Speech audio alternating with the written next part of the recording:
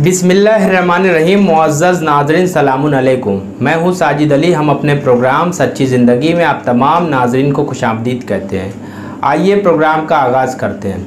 आज हमारे साथ मौजूद हैं जनाब डॉक्टर कलब रज़ा साहब। आपने ए एम यू अलीगढ़ से केमिस्ट्री में पीएचडी किया है और 26 साल डीआरडीओ की ग्वालियर की लैब में रिसर्च साइंटिस्ट रहे। गवर्नमेंट ऑफ़ इंडिया के रिसर्च इंस्टीट्यूट गुड़गांव में छः साल डायरेक्टर रहे। फ़िलहाल गुड़गांव के एक रिसर्च लैब में एडवाइज़र हैं। आइए, आज हमारा मौजू है कुरान और साइंस। उसी के से डॉक्टर साहब से गुफ्तु करते हैं। डॉक्टर साहब, अस्सलाम वालेकुम। वालेकुम अस्सलाम वरहमतुल्लाहि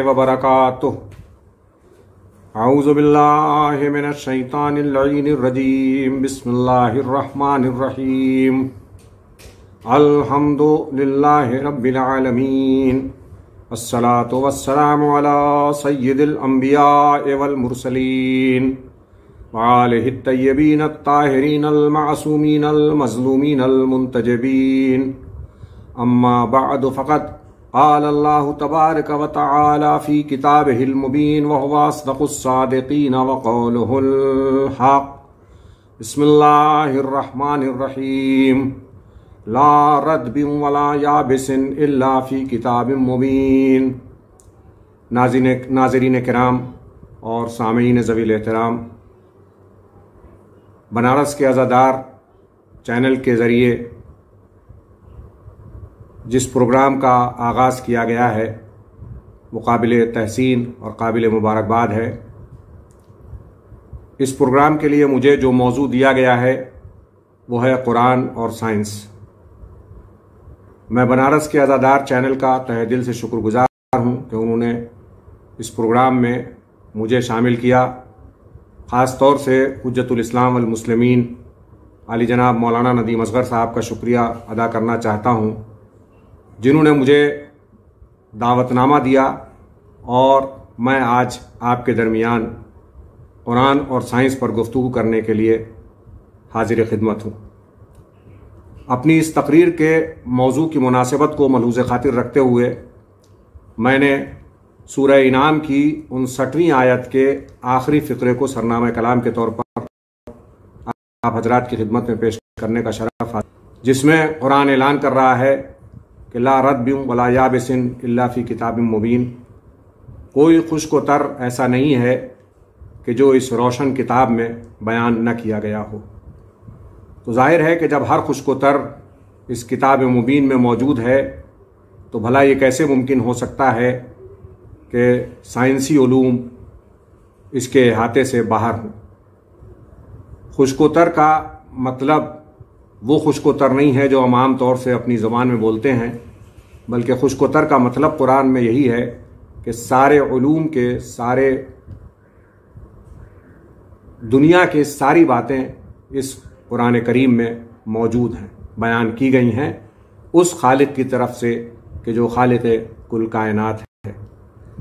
जैसा कि आप तमाम हजरात को मालूम है और इसमें कोई शक नहीं है कि साइंसी ूम ने दौर हाजिर में खातिर खा तरक्की की है और मुसलसल तरक्की की राह पर गामजन है।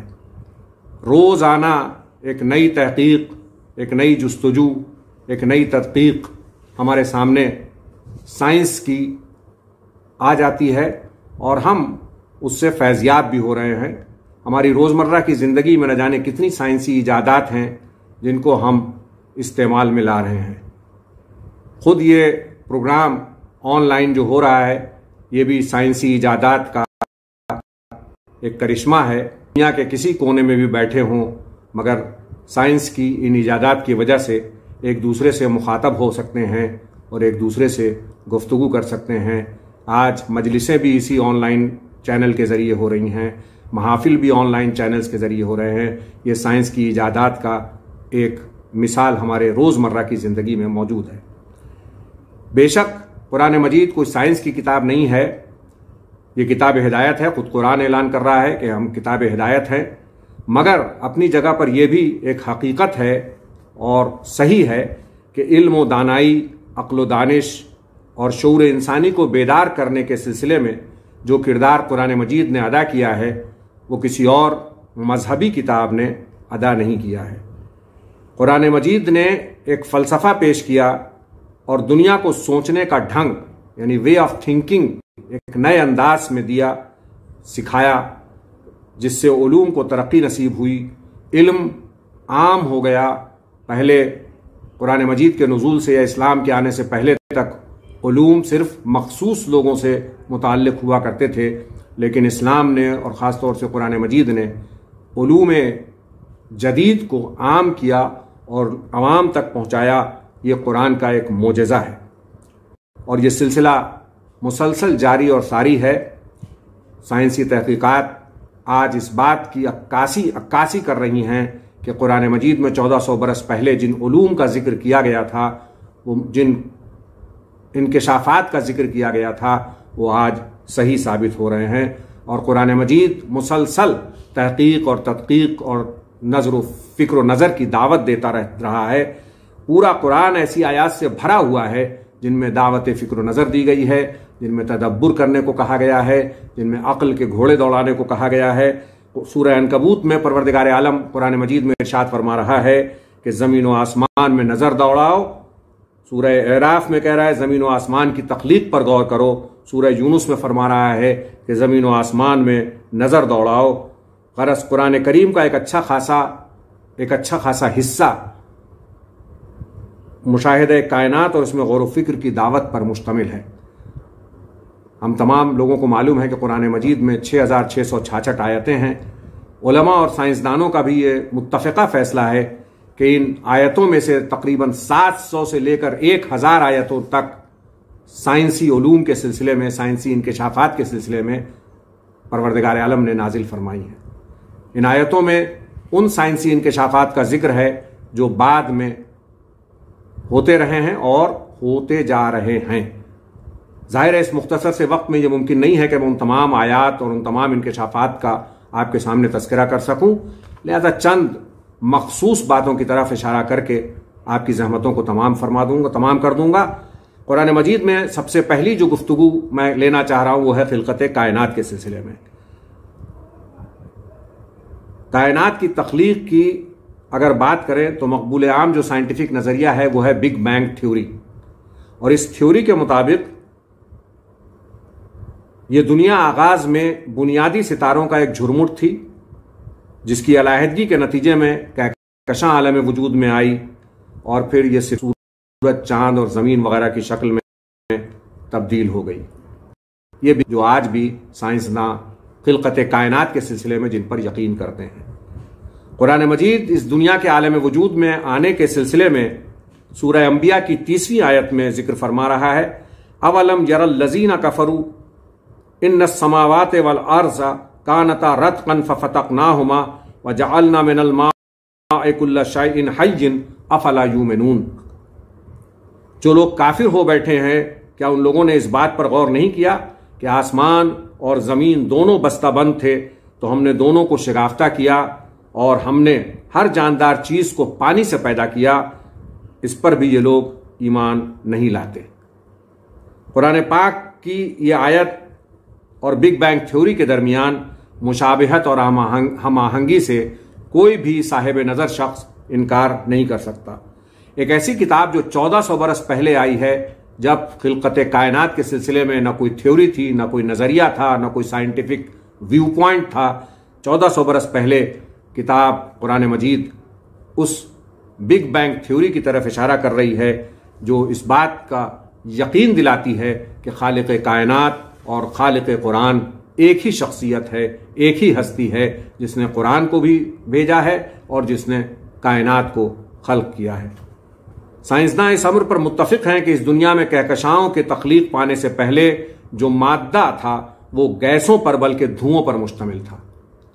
ये बिल्कुल मुतफ़ा साइंटिफिक रिसर्च है, साइंटिफिक तहकीक है, जिस पर तमाम साइंसदान यकीन रखते हैं। कुरान पाक की सूरह फुसलत की ग्यारहवीं आयत में ऐलान हो रहा है सुमस्तवा समाए वहया दुखान फ़काल वलिल अर्ज़ वलिल अर्ज़ करहन, कालता आतना ताइन फिर आसमान की तरफ़ मुतवजह हुआ और वो उस वक्त धुआँ का सा था। तो उसने उससे और ज़मीन से फरमाया कि तुम दोनों आपस में खुशी से या कराहत से रहोगे, दोनों ने अर्थ की हम खुशी खुशी हाजिर हैं और आपके हुक्म के पाबंद हैं। कुरान मजीद की आय मुबारक भी बिग बैंग थ्योरी की मुताबिकत से मुताबिकत रखती है और इस बात की शहादत देती है कि कुरान मजीद ने 1400 बरस पहले जो साइंसी इंकशाफात किया था, वो बात की तहकीकात से रोशन हो गया, जो इस बात की मुहकम दलील है कि जो खालिक कायनात है, वही खालिक कुरान है। हमारी ज़मीन के बारे में साइंसी इंकशाफात भी मौजूदा साइंस मौजूदा साइंसी इंकशाफात पुरानी आयात से ऐन मुताबिकत रखते हैं। इब्तदाई दौर में लोगों का यकीन था कि ज़मीन चिपटी या हमवार है। लेकिन बाद की साइंटिफिक रिसर्च और साइंटिफिक तहकीक ने साबित किया कि नहीं, ज़मीन चपटी नहीं है, बल्कि ज़मीन गोल है। सन पंद्रह में फ्रांस के एक साइंसदान सर फ्रांसिस ने दुनिया के इर्द गिर्द चक्कर लगाया। बहरी चक्कर लगाने के बाद यह थ्योरी पेश की कि ज़मीन चिपटी नहीं, बल्कि गोल है। पुराने मजीद की कम से कम दो आयतें ऐसी हैं जो इस बात की तरफ़ इशारा फरमा रही हैं। सूर्य लुकमान की उनतासवीं, उनतीसवीं आयत में इर्शाद हो रहा है, अलम तरा नहार वजूलजुलनहारा फिल्लैल क्या तुमने नहीं देखा कि अल्लाह रात को लाता है दिन के हिस्से में और दिन करता है रात के हिस्से में? कुरान की आयत वाजह दलालत कर रही है कि दिन और रात जिस अंदाज से उनके बनने का इजहार किया गया है, बयान किया गया है, उससे ये बात वाजह हो जाती है कि ज़मीन चपटी नहीं हो सकती, बल्कि ज़मीन गोल है। अगर इस आय मुबारक पर गौर किया जाए तो ये बात रोज़ रोशन की तरह वाजह हो जाती है कि ज़मीन गोल है।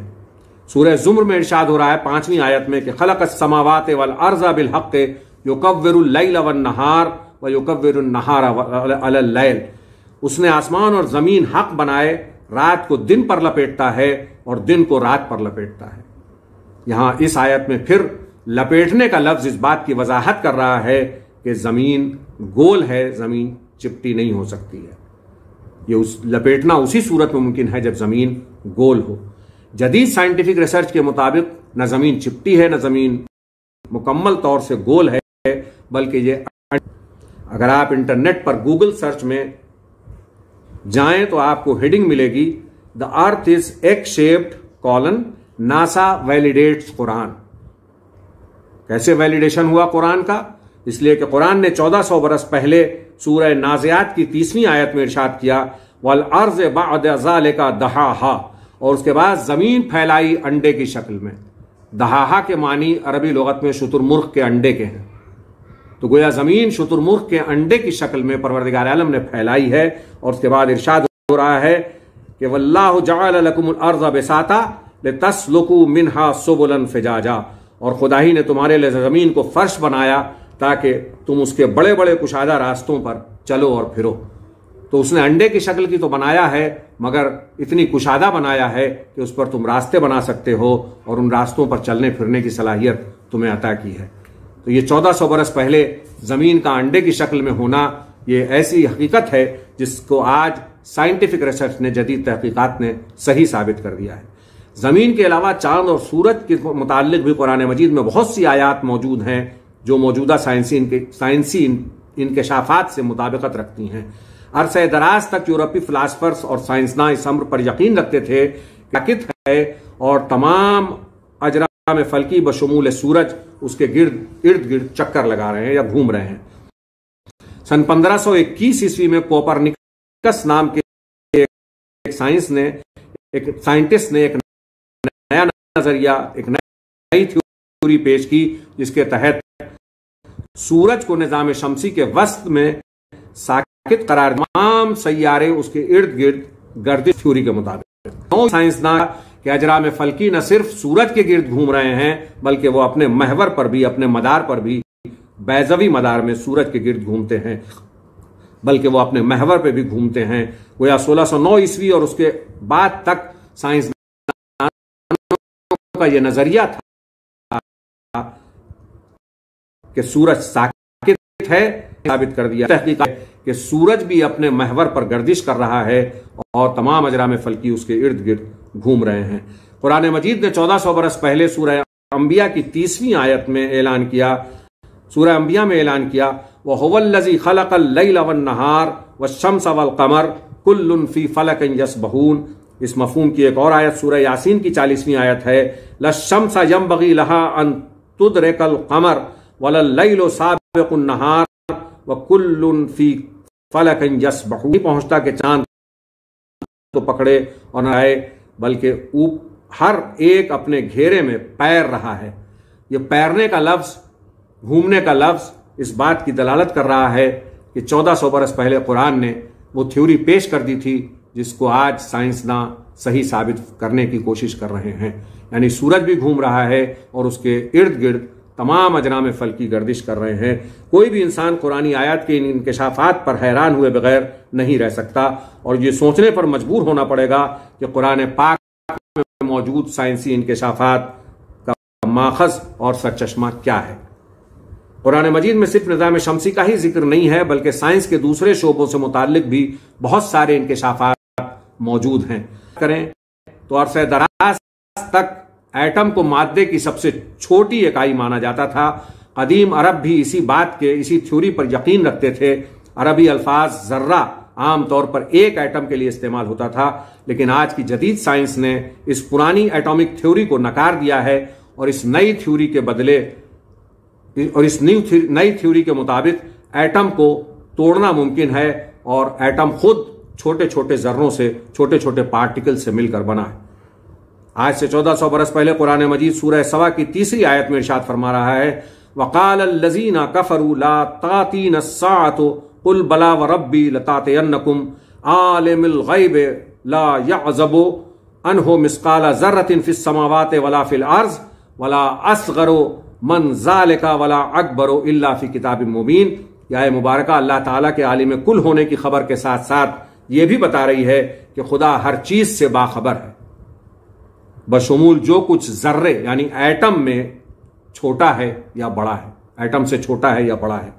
यह आयत बखूबी समर पर दलालत कर रही है कि जर्रा या एटम से छोटी भी कोई चीज़ है, इर्शाद हो रहा है, वला असगरो मंजाल का वला अकबर। छोटी भी कोई चीज़ मौजूद है और बड़ी भी चीज़ें मौजूद हैं, उन सबसे अल्लाह वाकिफ है। तो ये जदीद साइंस के इंकशाफात के ऐन मुताबिक है कि परवरदिगार आलम ने एटम से छोटी चीज़ों को भी खल किया है और एटम से बड़ी चीज़ों को, यानी मादे को भी खल किया है। हमारी ज़िंदगी के लिए एक बहुत ही अहम साइंसी तहकीक है पानी का चक्कर, या जिसको वाटर साइकिल कहा जाता है। कदीम ज़मानों में लोग जेर ज़मीन, जो पानी था, उसके बारे में किसी को मालूम नहीं था कि यह पानी कहाँ से आता है, कैसे आता है। लेकिन आज हम जानते हैं कि बारिश का जो पानी ज़मीन में जज्ब हो जाता है, वही जेर ज़मीन जमा हो जाता है। और जेर ज़मीन जो पानी मौजूद है, उसका बाइस बनता है। सन 1580 में बर्नार्ड नामी साइंटिस्ट ने वाटर साइकिल का कॉन्सेप्ट या नज़रिया पेश किया था, जिसके मुताबिक किस तरह समंदरों का पानी सूरज की गर्मी से बुखारात में तब्दील होता है और कैसे ठंडा होकर बादलों की शक्ल में इख्तियार हो बादलों की शक्ल अख्तियार करता है। बादल की अंदरूनी हरकत की वजह से वो ऊपर उठते हैं और बतौर बारिश नीचे गिरते हैं। ये पानी नदी नालों की सूरत में इकट्ठा होता है और वापस समंदरों में मिल जाता है। और इस तरह यह वाटर साइकिल चलती रहती है। कुरान करीम की कई आयतों में परवरदिगार आलम ने इस वाटर साइकिल का तस्करा किया है। सूरज जुम्र में